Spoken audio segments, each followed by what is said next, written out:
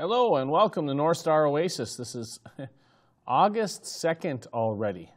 Yeah, it just seems like it wasn't too long ago we were at 17 below zero temperatures and uh, the middle of December, and here we are already past uh, the month of July and heading into August. And it feels like we have an early fall already on the way, but as Joe Bastardi has told us, we're running on 60-day cycles, hot cycle, cool cycle, hot cycle, cool cycle. We're in a cool cycle now. Mid-September, I expect that we'll see 60 days of above normal warmth. Anyhow, thanks for joining us here on North Star Oasis. I'm your host, Jeff Williams, with another uh, jam-packed, action-filled information overload heading your way just for you. Uh, I was looking at an article in the New York Times last night.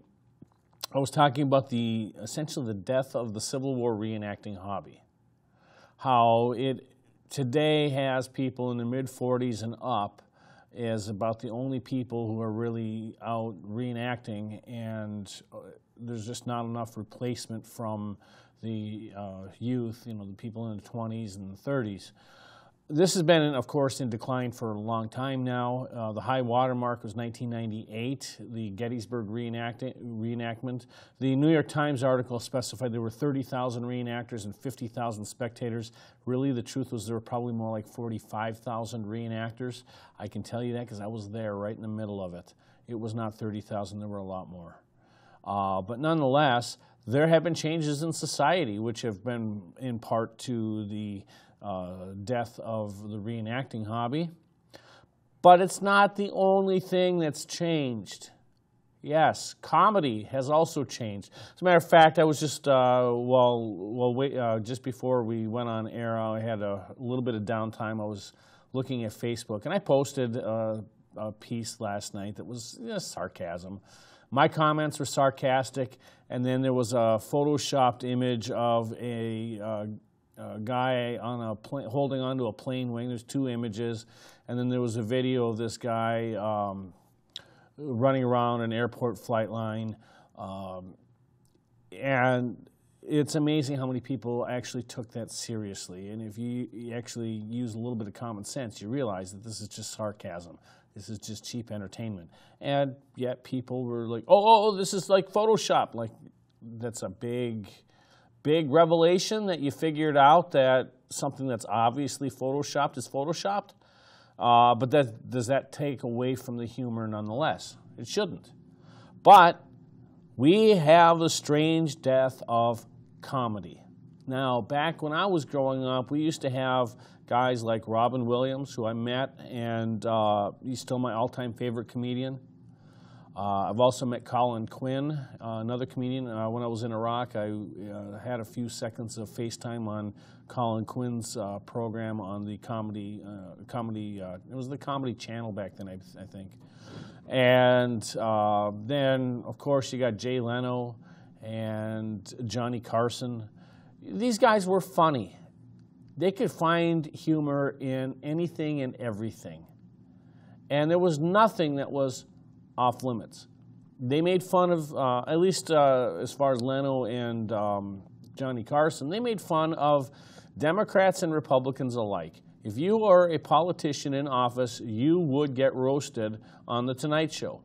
It didn't matter what your political affiliation was. It came with the territory. But the jokes that Carson and Leno made were actually funny.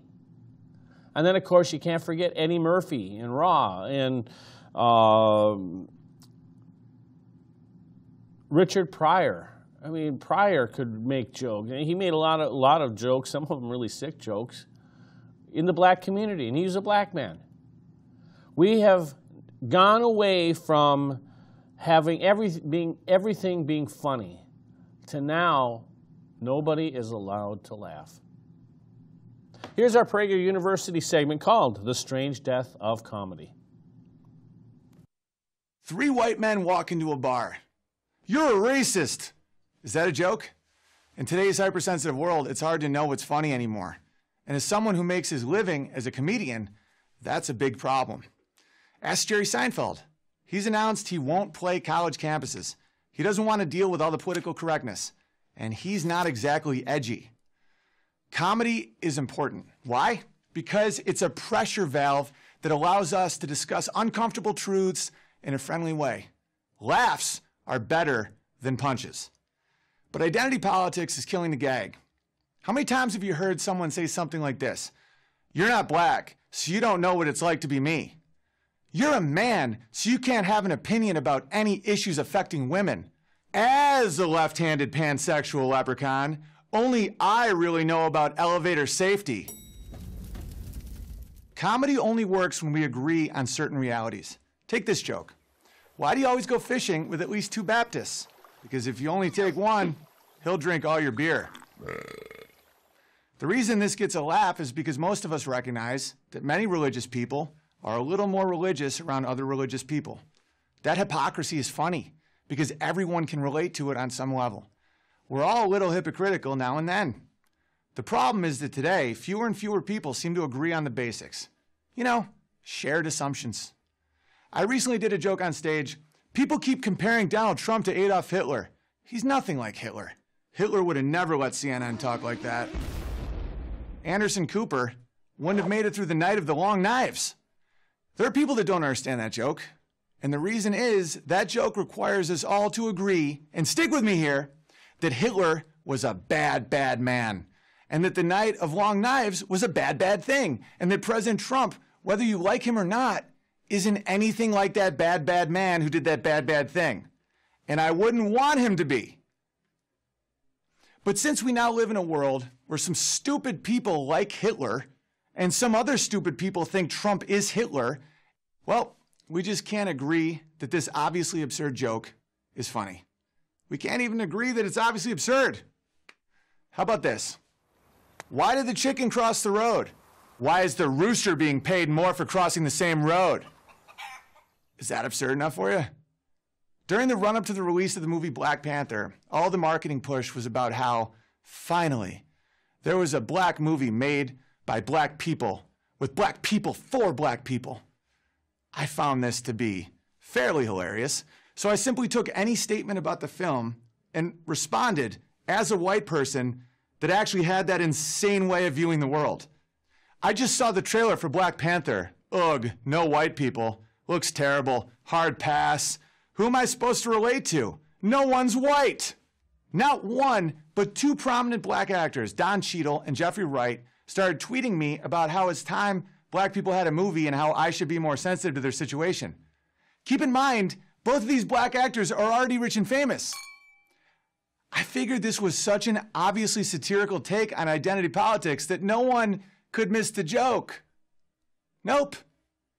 I was releasing a little social stress through satire. That's what comedians are supposed to do. Releasing social stress used to be the special task of late night comedy, the place that everyone could meet at the end of a long day. But that's dead too. Nobody takes themselves more seriously than these former comedians. Seems like Jimmy Kimmel cries more often than he tells jokes these days. And Stephen Colbert is just Rachel Maddow with punchlines. As if we weren't already divided enough, they're only telling jokes for half the country now. There's no shortage of things to laugh about. We just need to find them together. And if we don't, we'll explode. And that's not a joke. I'm Owen Benjamin for Prager University. So next time you turn on a late night TV show and you think you're going to get some comedy, think again. Comedy, as we once knew it, is dead. And unfortunately, it's really, really sad to see. Anyhow, we are actually going to move on to a serious topic now. Uh, when President Trump and Kim Jong un met in uh, Singapore back in June, there was a promise that U.S. war dead from the Korean War would be coming home. Well, that's actually happened, at least with the first batch. 55 remain, sets of remains were uh, on their way home. So let's uh, first they were brought from North Korea into South Korea, and then they began their journey home just yesterday. Let's take a look at the first clip.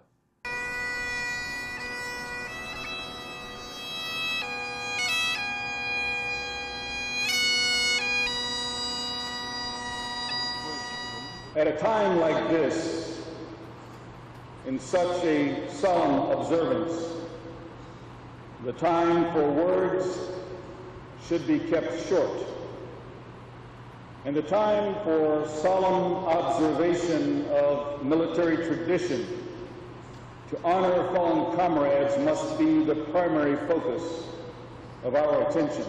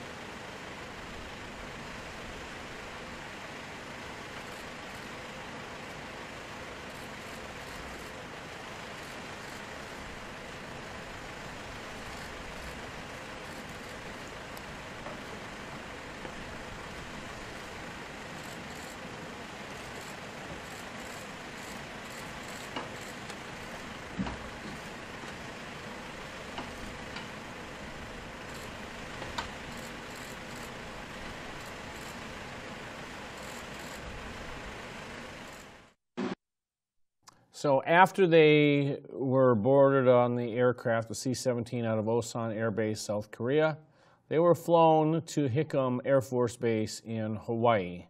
And it is at, uh, in Hawaii that the remains will be uh, processed for identification purposes. And from what I understand, only one set had a uh, a possible identification. There is one dog tag that was uh, with one set of remains, but there was no conclusive evidence that that person is indeed the same person on the uh, dog tag. So uh, the 55 sets of remains will be uh, gone through, uh, DNA analysis done, and all that. And if you've watched the show for any great length of time, we've kind of covered that process with the USS Oklahoma remains from World War II. There's no doubt that a similar process uh, will be conducted on these remains as well. So here is the um, video of the uh, arrival in Hawaii. Some have called the Korean War the forgotten war. But today, we prove these heroes were never forgotten.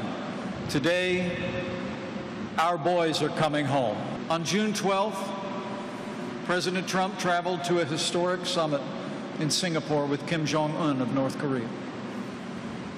As our president entered into negotiations with North Korea, he also had our fallen on his heart.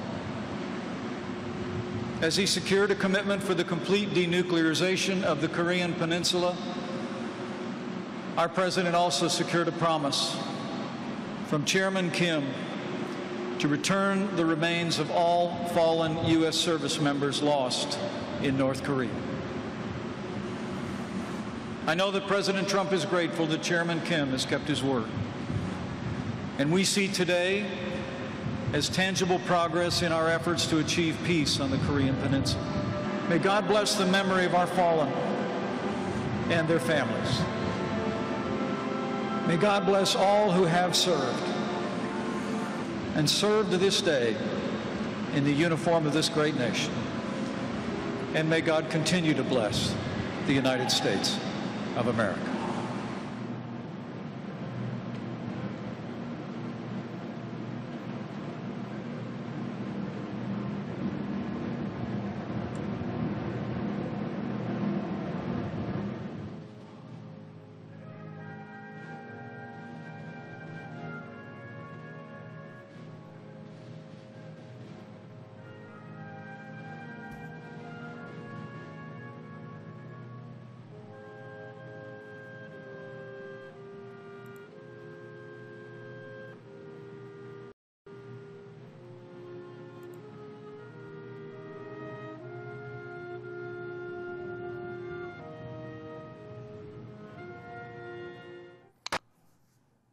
Now, this is just the first batch of remains, and it is not a complete and full accounting. Uh, there are still a lot of, uh, there were actually 389 known POWs from Korea that were never uh, returned. Uh, perhaps these 55 might be in them, but there are still even more. Uh, actually, after that ceremony concluded, or as the ceremony concluded, uh, Vice President Pence received the flag uh, that was over uh, the casket of one of the remains.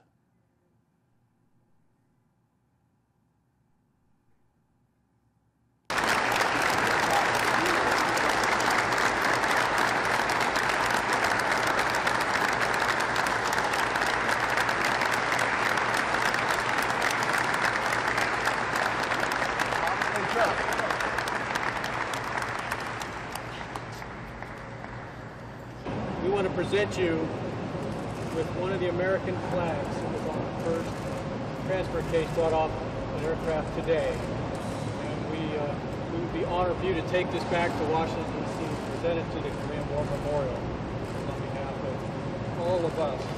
Thank you for all of your support. Really appreciate it. Thank you, Admiral Longwell. Very honored by that.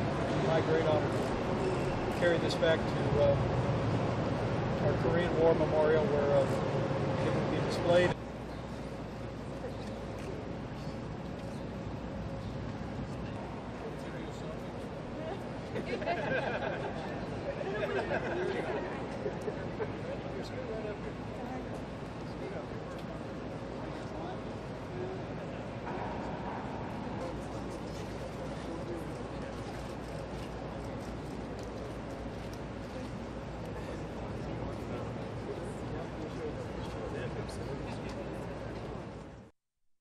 Okay, I just have to correct myself that I, just before that, I had misspoken. When I said from the casket, it was probably not from the ca- from the casket, because the caskets had just arrived.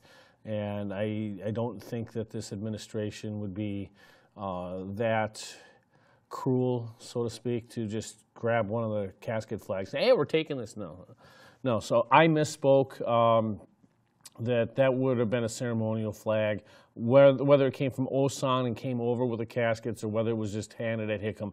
The fact is, the vice president got a flag to take back to the Korean War Memorial in Washington. But I wanted to make sure that what I said was corrected right away so as not to impugn the vice president. Anyhow, uh, also I looked up that there are over 7,800 U.S. military personnel who uh, fought who are still unaccounted for, and as many as 388 may have been held as POW in North Korea. Uh, that does not mean that, let's separate here 388 known to be POW, prisoner of war, but then that doesn't mean that uh, there aren't more that are unaccounted for as MIA, missing in action. That would all be in that 7,800 number. All right, anyhow, uh, here is a little bit more about the processing of remains from the Defense POW MIA Accounting Agency.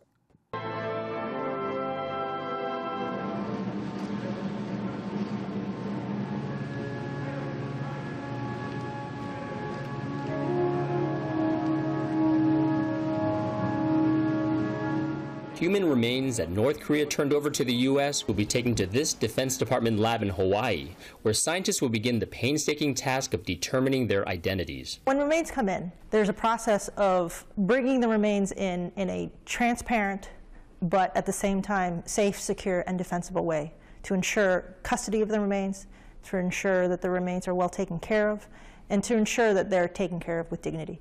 Forensic experts will be using DNA analysis and other methods to identify the remains. We can take a small uh, sample, a bone or a tooth, and we can look at the isotopes, and we can um, determine uh, where, what part of the world that individual grew up in. DPAA. They will also use other clues that may be contained in the 55 boxes. It's a jigsaw puzzle, essentially. A lot of uh, circumstantial evidence, such as where was this remains found, where, who, what could it be, and then they look at the uh, femurs if they have them. Sometimes they only have a fingernail or a tooth, so it's really difficult. 652 sets of Korean War unknowns are still located here in this section. It will likely take months, if not years, to make positive IDs, and it's still not clear whether the remains belong to American servicemen or soldiers from other countries that fought in the war. Well, I think that the big thing is for people to understand the depth that the United States goes in honoring their missing service members. Officials hope the effort will eventually bring closure to at least some families of the nearly 7,700 American soldiers who didn't come home from the Korean War. Terry Che, Associated Press. Now, according to the Military Times, U, uh, U.S. defense officials have said of the approximately 5,300 Korean War casualties believed to be missing in North Korea, about 91% of them have family reference samples on file already. So, out of that 7,800, uh, that means about 1,900 are still somewhere in South Korea, 5,300 are in uh, North Korea, and of course, these are all approximates, uh, not actual specific numbers. And so it's going to take a long time for this process to be concluded, but it's a good step in the right direction. Anyhow, we are actually going to move, uh, move on. We're going to turn the page and we're going to show a video that was done in 2011. It was August 2011 when Neil Armstrong who uh, was the first man to set foot on the moon, had a chance to review a video of the mission, but with a different take. This was done actually by Google's uh, imaging of the moon, and here is Neil Armstrong discussing the final approach. Now, Armstrong would be turning 87 on uh, August 5th if he were still alive today. Actually, I'm sorry, he'd be turning 88 uh, if he were still alive today. He passed away in August of 2012.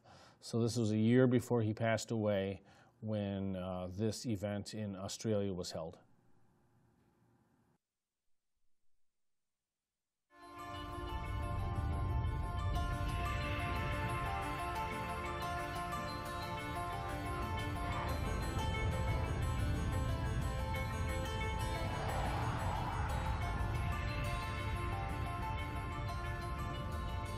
This slide shows the trajectory to the surface. The actual powered descent of the lunar module to the surface took 12 minutes and 32 seconds. And this is just the final three minutes, the part that's really interesting as you get close to the surface of the moon. Now, in the left screen, you will see the original 1969 movie film that we took from the window of the lunar module Eagle. And on the right side, you will see what the crew saw looking out the window in front of them. Now, there is a, a, shaded area there that shows you the exact duplicate of the area that's on the left, so you can compare the craters and see if they are duplicate of each other. The one on the left took place 42 years ago. This picture's on the right took place in the last two years. Okay, we've been descending. Uh, I should tell you, you'll hear the crewman talking. My, hear my co-pilot giving altitude and, and descent rates, and you'll hear people in the background uh, talking from mission control on Earth. We've been descending uh, about 2,000 meters a minute. We're now down to uh, about below 1,000 meters in altitude. Uh, you, my my uh, com my computer tells me that we're it's taking us to a landing just on the right side of that big crater on the up in the up left hand corner. The slopes are steep and the rocks look very large the size of automobiles. Certainly not a place that I want to land. So I took over manually from the computer, the autopilot, and flew it like a helicopter on out to the west to try to find a smoother, more level landing spot. The computer is complaining now and then. You'll hear uh, caution alarms, 1202s and 1201s, which uh, is telling us the computer is a little bit concerned about its operation, but everything looks good, and the people in mission control tell us we can continue.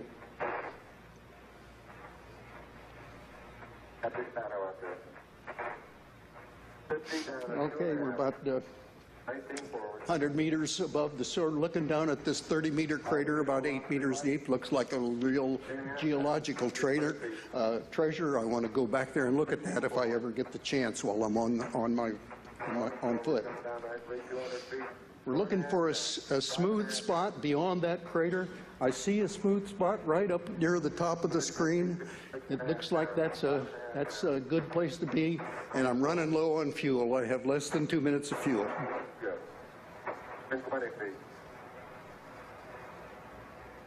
Getting down below about 70 meters now. 50 meters, still looking good. In the left side, you will see in the old movie that the rocket engine is starting to kick up some dust, dust off, the, off the surface.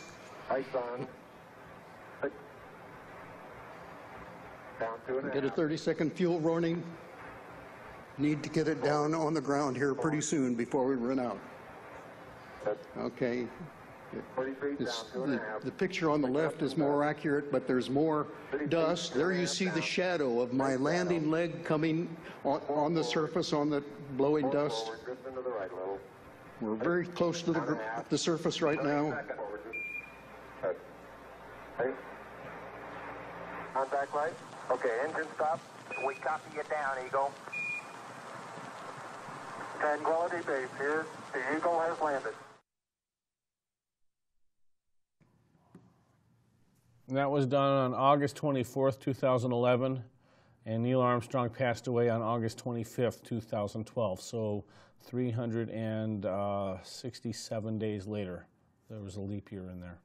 Um, and that was, I think, it's, being a space geek, it's actually absolutely fascinating. You never see that type of uh, graphic animation on that moon landing and that final descent. You don't, uh, you know, we see the picture from 1969, but we don't necessarily see the bigger picture of the moon that we're able to, we're capable of doing today. And then to hear Neil Armstrong uh, discussing uh, moving over over the crater and the reason why he went on to um, manual instead of autopilot, it all makes sense. I had heard for years that Neil Armstrong, uh, of course, the story was always that they were going to go into the crater, not to the right side of it. That's, again, stories. But then to hear Neil Armstrong say, oh, yeah, the, rock, the rock's the size of automobiles, and so I put it on a manual, well, that makes sense now. So I just wanted to make sure that as we have Neil Armstrong's, it would have been his 88th birthday coming up this week, uh, right after the 49th anniversary of the Apollo 11 moon landing, that this would probably be the uh, appropriate time to show that video. So that's kind of my little five minute tri- uh, tri- or six minute tribute to uh, the late Neil Armstrong. Now, as I said, this is a jam packed, action filled information overload. That means we're going to still shift gears one more time. Uh, of course, we've got the Minnesota primary election coming up in 12 days, and we're starting to see a increase in activity, mainly on the TV ads. So we're going to do a little bit of election commentary. We're going to start off right after the conventions were held in June, the first weekend in June. Uh, Hamline University professor and uh, political analyst David Schultz went on, I think this one is, it's either KARE11 or WCCO, uh, and gave his views on the upcoming DFL primary, especially for governor. So we're going to play that right now.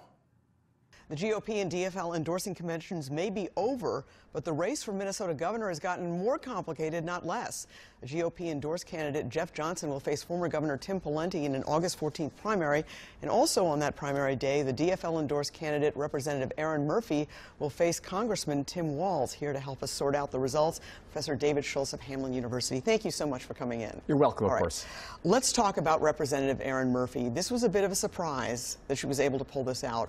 What was the difference here? I think a couple things happened. One is she got into the race early. She did a lot of traveling. If campaigning means anything, and I think it does, she visited lots of places. But also in the last week, you could see that she was getting lots of major public sector union endorsements and private sector ones. And I think that helped also. And I think she was working very hard in flipping the delegates. Right. So I think a combination of those things were very important. Plus, I think she was getting the support of, of the urban liberals, of which Tim Walz never got that support. Right. Interesting that, that her celebratory dance is actually going sort of viral in a mini way Right. on social media. Really, sort of a unique response, uh, one that you don't see from Minnesota politicians. Your thoughts on that? I was going to say yes. I mean, generally we think of ourselves as a pretty reserved state. I, I was kidding with Jeff Johnson before we went on the air and said I think he ought to do that at the Republican convention. Maybe, maybe that's the answer. Maybe, I don't know. I don't know. I'll, I don't know how good of a dancer he is. I'll let him make that decision. But no, but clearly I think sometimes becoming a rock star doesn't hurt in terms of your campaign. All right.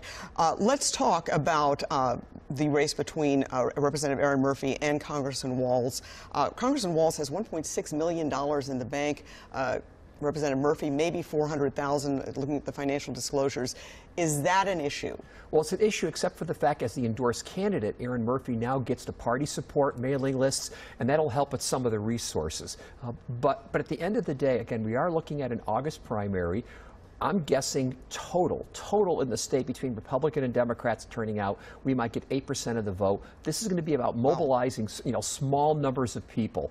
And I think one of the things that Tim Walz still has an advantage with is in the sense that he probably has greater appeal in greater Minnesota. And the question is going to be now how well he mobilizes in greater Minnesota, picks up some of the urban liberals versus the turnout among the urban liberals for Erin, uh, for Erin Murphy and whatever she can pick up in greater Minnesota. All right. How about the Johnson Pawlenty race? You just heard Commissioner Johnson say he knows he's going to be outspent in this. Again, does, does that not matter as much because it's an August primary? Well, again, for, for some of the same reasons here, that mon- money may not be as big of a factor. Um, I still think the biggest factor, at least for the Republicans, is going to be Trump. And what I mean by Trump is that Jeff Johnson, you know, was there supporting Donald Trump, um, right, you know, before the election. Um, Tim Pawlenty was not. And I think the party, Republican Party of what it looks like now, is a very different party than it was um, even in 2016. But clearly, the last time Tim Pawlenty um, won eight years ago, eight years ago, 12 years, actually, 12 years ago, I'm sorry to say. Um, and so that we have to think in terms of where the center of the party actually is at this And the president remains very popular amongst the base, amongst Republicans here in Minnesota. Right, and we shouldn't forget the fact that Donald Trump got within 50,000 votes of, of being Hillary Clinton. This is a state that is politically changing, and it's very different than the state that, again, Tim Pawlenty was successful in, you know, 12 and 16 years ago. What happened to Lori Swanson, a three-time attorney general, not getting the endorsement on the first ballot? Well, I think at the end of the day, it comes down to a singular thing issue guns. And what I mean by that, in 2010, um, she received an A plus rating from the NRA because she and many other attorney generals signed on to a Supreme Court brief saying that the Second Amendment um, included an individual right to bear arms. And I think that's becoming a, a defining issue within the Democratic Party guns versus not. I think that's one issue. I think the second thing is about her enter, entering the race late because she was kind of flip flopping, running governor or not. But I also think we're starting to see this generational shift going on the Democratic Party. If I can bring it back to Erin Murphy, you know, if Tim Walz and Lori Swanson represent one generation, Erin Murphy and um, Matt Pelican represent a different generation. And I think the Democrats come out of this convention um, um, less unified than do the Republicans coming out of their convention. All right. Well, Professor David Schultz, always a pleasure. Thank you so much for coming in. You're welcome. The one thing I will say that I agree with David Schultz on is uh, what he mentioned right at the very end about the generational shift. Yes, that is very true. On the Democrat side, especially, there is a huge generational shift. Uh, it happens, well, every generation. Uh, the Republicans have not had their generation shift yet because if that were the case, then the endorsement would not go to a baby boomer because that's all we seem to do now is keep baby boomers in power and office even much longer than the previous generation at the expense of younger generations like Gen X and millennials and soon to be Gen, was it Gen Z is coming up? Um, but the Republicans still continue to hold on to baby boomers. It, we haven't seen that generational shift happen yet. We're starting to see that on the Democrat side right now. So I will agree with David Schultz on there. Some of the other stuff I could probably disagree or give him partial credit, but actually I did not want to spend a great deal of time on picking apart David Schultz's comments. So we are actually going to move on to, I just want to use that to set the tone for something that happened right after the primary, the uh, conventions in, in June. Because now, a couple of weeks ago, we came out with another story about how Minnesota elections are attracting a record number of political ads, which is, by the way, something that I mentioned back in the early part of 2017, that Minnesota is going to be one of the biggest targeted states in the country and expect to see a lot more money coming from outside groups into this country. I've said that before. Now, local news uh, stations are saying that they're surprised at how much money's coming in. They're not listening. North Star Oasis was on top of this for quite a long time. Anyhow, let's take a look at the story. We're in the money. You've probably already seen them on your TVs and smartphones. Hi, I'm Tina Smith. Political ads, and plenty of them.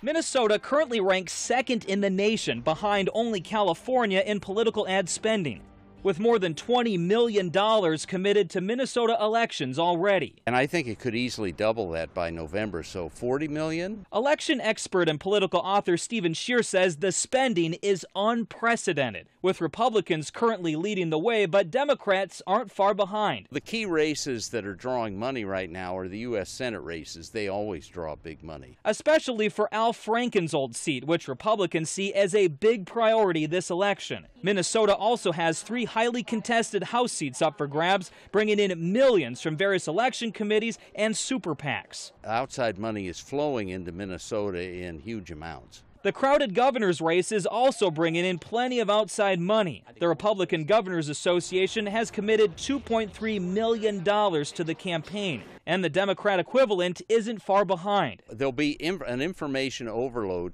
and a lot of that information will be tainted information from the campaigns that contain huge amounts of spin. Schier says both parties are racing to buy up as much TV time as they can, but with dwindling spots available, they're now turning to social media like Facebook to get their messages across despite a growing frustration with social media ads that some argue have no filters or way of verifying what's real and what's fake. But if you put enough of it out there, it tends to stick to people like Velcro, and then they get the message. It takes extraordinary strength. Gordon Severson, KARE 11 News. And yes, he is right. If you throw enough of them out there, it something tends to stick. We see this in every election cycle. How many times have you seen the false advertising coming out from one campaign or one super PAC to damage the uh, credibility of an opposing candidate? Why are we worried about social media filters when we know that the campaigns and the PACs are buying, buying all these ads? Why are we worried about that? Why are we even worried about the Russians infiltrating our elections because they spent 185,000 bucks on Facebook ads in 2016 when the Republican Governors Association is just spending a 2.3 million dollar ad buy in one state and the Democrats are going to equal that with their group with about another 2 million dollar ad buy and, yet we keep hearing about 185,000 dollars spent by the Russians? You want to talk about what influences elections? It's advertising. We do know that. But why are we worrying about what's filtered on social media when the news networks are buying up all the spin anyway? We shouldn't be worrying about it. What we should be doing is educating ourselves more and more as to who the people are and what the issues are and make up our minds that way, not by what some talking head, not myself included here, but some talking head uh, uh, on a TV ad will tell you about the opponent. Um, I mean, there's different. I mean, I at least offer you some commentary, whereas I'm not just going to sit here and say, well, don't vote for so and so because of this in 30 second ad, throw a soundbite out there, vote for this person because of this in another 30 second ad. No. Learn. Learn more about the people, the process, the issues, and you get you become immune to advertising. So with that, we're going to take a look at polling data now because when you have advertising, then how do you measure the effectiveness of advertising? You look at it through polling data. But as we discussed in the uh, couple of weeks before the 2016 general election, polling data can even be used as a political weapon. And so the NBC News Marist poll came out, I think it was uh, around July 20th. The uh, sampling was done from July 15th through 19th. So our first thing that we're going to show, and this is coming right from the uh, crosstabs from the NBC News Marist poll, Uh, take a look at the number of registers. There's uh, 1,032 registered voters. Or, excuse me, residents. Out of that, 876 registered voters throughout the state were polled. And then they segmented that further 439 Democrats and 340 Republicans. Now, let me just take a quick look here. Uh, 439 Democrats divided by 876 total. So that would be 50.1% Democrat and 340 divided by 876 is 38.8 Republican. So that's what your polling sample is. The rest are, uh, you know, it says may not add up to 100% due to rounding, um, but that's that's your sample. So keep that in mind when we continue on in this discussion here. So now we're going to go to the next page. First of all, we're going to look at the total approval, disapproval. Amongst residents, that's that 1,000 number.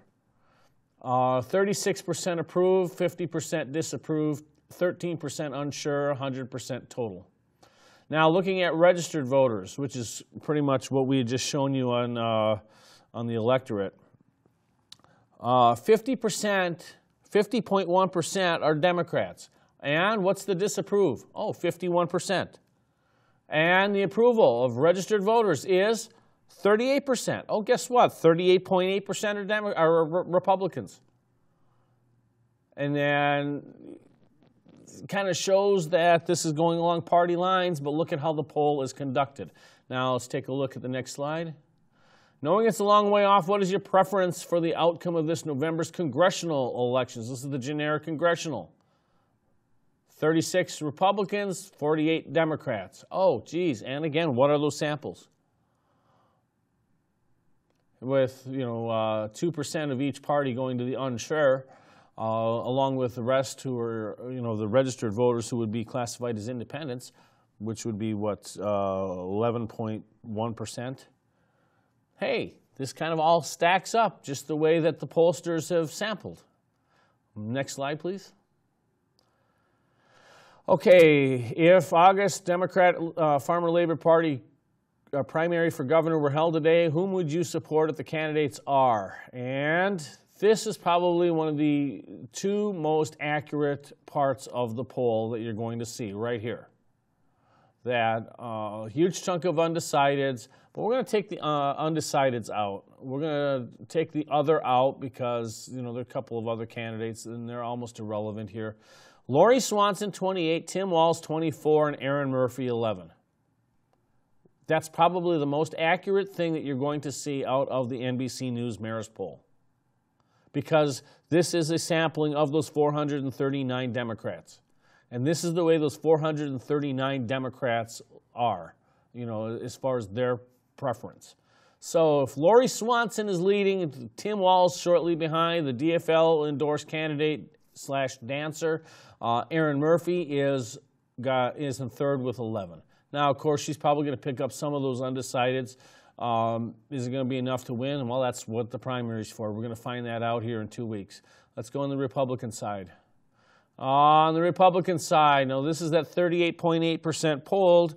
Uh, looking specifically at them, 51% are looking at Tim Pawlenty. Jeff Johnson gets 32, 1% other, and then 16% undecided.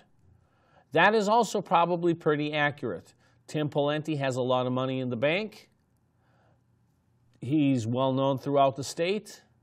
Jeff Johnson ran for statewide office twice and lost, has the party endorsement, which is a strength, but he doesn't have as much money in the bank as Tim Pawlenty. So is that going along the lines? Yes, because Republicans are questioning both of them right now, and apparently uh, 51% prefer Tim Pawlenty as of July 19th. Now, as both campaigns ratchet up their ads and they get to get out the vote machine going, those numbers may change, but that's probably a pretty good indication of where the election is at. Now let's go to the next slide.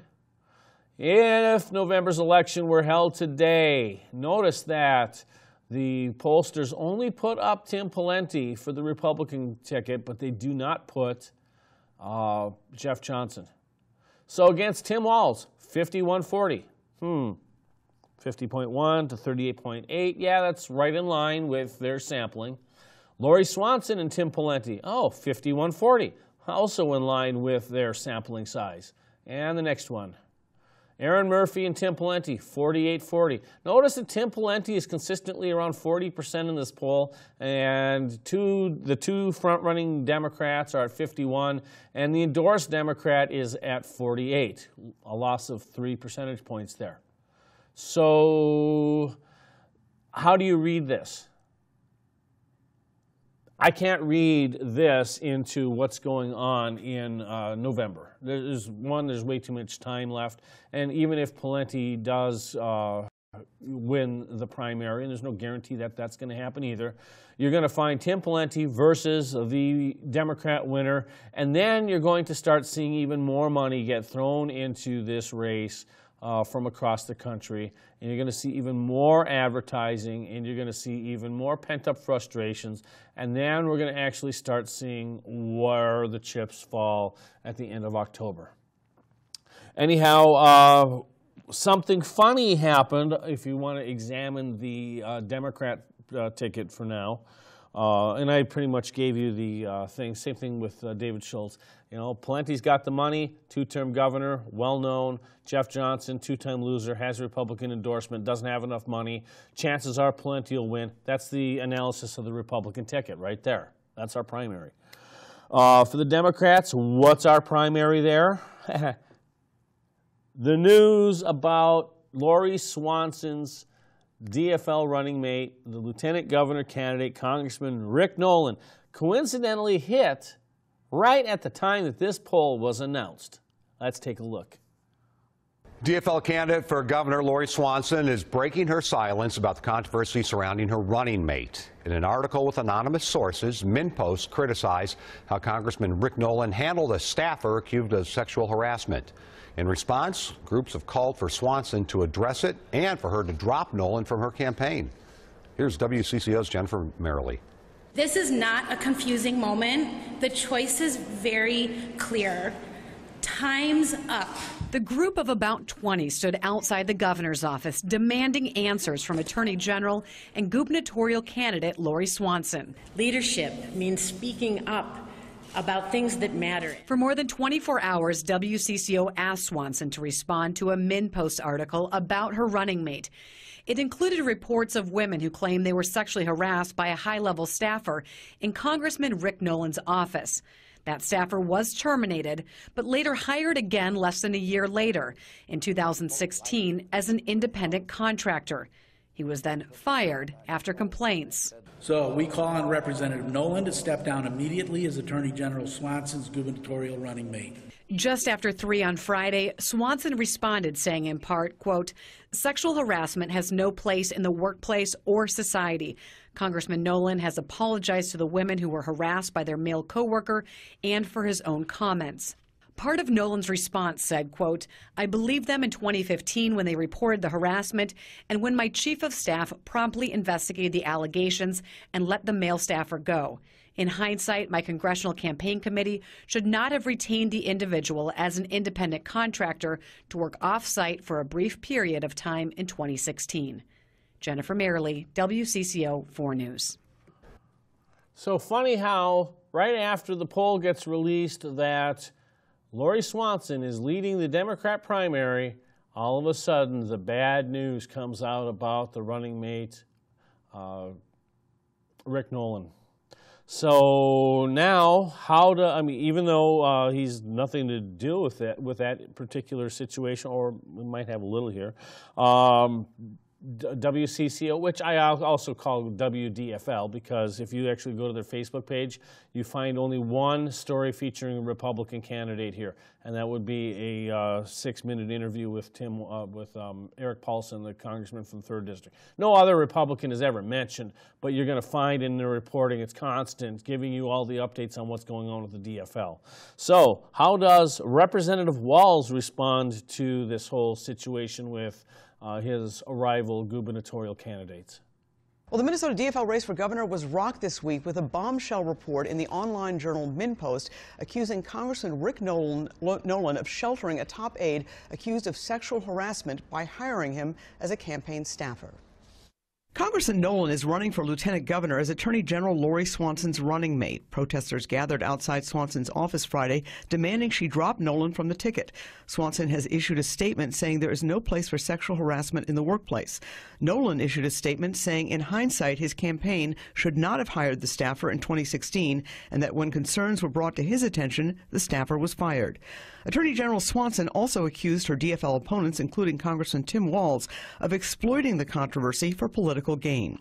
We would like to say that DFL candidate for governor, Representative Erin Murphy, was a recent guest on this show, and that we have asked Attorney General Swanson to be on this show four times since June, and she has been unavailable. And now we would like to welcome to the show Congressman Tim Walz, who, of course, is another one of the DFL candidates running for governor. Congressman Walz, thank you so much for coming on. Thank you for having us, ma'am. Uh, we do want to get to, to, issues in this race, but I do want to ask you about this uh, allegation from Lori Swanson that you are using this uh, situation, the allegations involving the, the Nolan staffer, for political gain because you are behind in the polls. Well, First of all, everyone should expect to have safety, dignity, and respect in a workplace. Uh, it's a leader's responsibility to provide that. In this case, it was utter lack of, uh, of leadership. No one's disputing the fact that these allegations happen, but it's these types of statements from uh, from Lori Swanson that prevent women from telling their stories, from, from coming forward, and uh, that's what has to change so that these types of situations stop. Uh, her statement suggests that uh, the staffer now works for you, and that you may be been behind the whole thing. Is that true? Well, it's not true, but the, the fact of the matter is the reporter doing this story, I, I believe, spoke to eight or nine individuals, and uh, they approached someone, the reporters approached someone who worked in my office, and uh, that staffer, that individual came and asked me and asked our team if we were comfortable with her telling her story. And uh, my response was, I am comfortable what's ever best for you, and I stand with you on it. But once again, this lack of leadership, this victim blaming, this making it, uh, no one again uh, on, on, on Friday, a, an audio tape was released of, of Congressman Nolan addressing his employees in his congressional office, again putting the onus of responsibility for assaults onto women and the victims. Unacceptable, total failure of leadership. Okay. Let me uh, get to the issues here, many of them obviously out there. One of the things you said this week. Okay, that interview just continued on about political issues and away from the Swanson uh, Nolan uh, stuff, and so we're just going to bring it back here. Notice that Esme Murphy challenges Walz to say, Hey, aren't you behind this? And Walz just deflects, but this is all posturing after the NBC Marist poll came out. Now, when did all of this, in, when did whoever was behind this have all this information? Probably months ago, waiting for the opportune time to bring it out if needed. And lo and behold, Marist poll comes out and we got to use it because the primary is coming up on the 14th. So that's when you're seeing in the news cycles is political posturing. That is all it is, pure and simple. So now, we got the primary coming up in 12 days. What do you need to know in order to vote? Let's take a look. Turning now to Decision 2018. The Minnesota primary election is exactly three weeks away, and the last chance to pre register to vote is today. Carol Evans, Kaya Edwards is here now with what you need to know. Oh, hey, Kaya. Hey, good morning. So, to be clear, you can still register to vote on Election Day, but if you do want a head start, yep, the deadline for pre registration is today.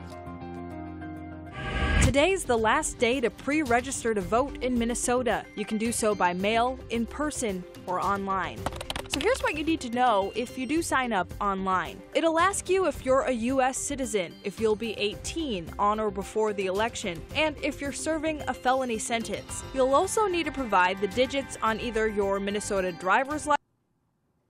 Okay, we're going to cut that one because the last day to register was July 24th. So we're already past that deadline. No sense in giving all of the rest of the information since really right now for the primary election it's not applicable. So my apologies on that one. Uh, I should have caught that sooner. Um, but we are going to move on because with one last thing before we go for the week. The gubernatorial candidates fundraising numbers uh, the pre primary report has just come out, and let's see where they stand. So we're going to go right back to WDFL, uh, WCCO, and they're reporting on this. And notice who is going to get the coverage in the second half of this story. Keep that in mind when I was talking about all the political posturing. So let's take, check this out. Two weeks and counting now to Minnesota's 2018 primary. There are hotly contested races for governor, Congress, and U.S. Senate. The Minnesota races for governor, though, are dominating campaign headlines today. Pat Kessler joins us now. So we're seeing a significant ramp up before this primary. Yeah, this is coming really quickly. Candidates are racing against the clock ahead of that August 14th primary. Today we're getting our first look at fundraising totals, the latest ones in the governor's race. And there are some surprising numbers. First, the Republicans for governor. Former Governor Tim Pawlenty dominating the race. He's raised $2.1 million. Look at that. He has a million dollars left. Endorsed candidate Jeff Johnson raised 306,000. He's got 193,000 left to spend. Here are the Democrats. Tim Walz raising nearly 1.3 million. He's got $500,000 in the bank. Attorney General Lori Swanson, 600,000 raised. 135,000 left.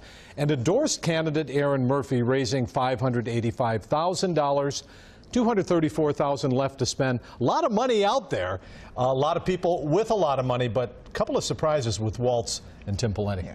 It's still it's a crowded field though, and all those candidates. Oh, yeah. You know, what, what, can we expect in the next couple of weeks? You know, I, I think we can expect uh, lots and lots and lots of activity to get out the vote mm -hmm. for what's going to be an unusually competitive primary in a couple of weeks here. Uh, Democrat Erin Murphy and Governor Dayton showed up at an early education childhood center in St. Paul. Murphy promising to continue Dayton's emphasis on pre-K and all-day kindergarten. And she said she'll expand college prep programs for low-income students of color to chip away at the achievement gap. I want to make sure that Minnesotans understand that our children and their well-being is critical to me. And investing in their education and their future is our promise. It is my promise uh, to the people of Minnesota, and they are our promise when we think about our shared future. So that's Erin Murphy today. We expect all the candidates out every day mm -hmm. for the next couple of weeks. Summer primaries are usually really slow, low turnout elections. This year, early voting is up. We've talked about that before. Yes, we have. Uh, that's suggesting a much higher than normal turnout in a couple of weeks. So, oh boy, here we go. So, it's always interesting. Yeah, huh? it will. So you notice there that instead of actually just keeping it specifically on the numbers, it's we're going to start the story with the fundraising numbers. Then we're going to go to our we're going to uh, give a nice little piece about the DFL endorsed candidate for uh, governor, and then we're going to come back to the numbers. Do you see how this is contrived to manipulate you? It is. This is all a game. Don't be a pawn in their game. Anyhow, primaries coming up in 12 days. I hope you get out and vote and uh, take the opportunity to use your uh, right to vote. We're going to end today with a parade, the Norwegian Military Tattoo 2018.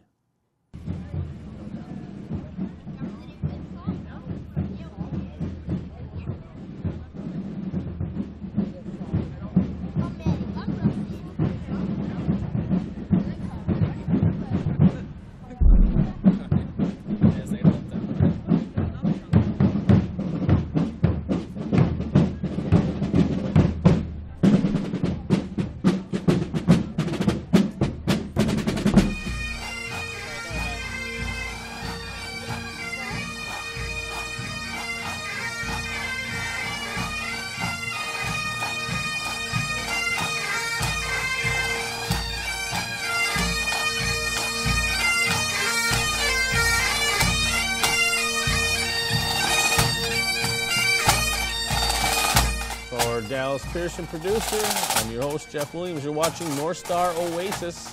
Reminding you there's 144 shopping days left until Christmas and approximately 94 more days until the general election.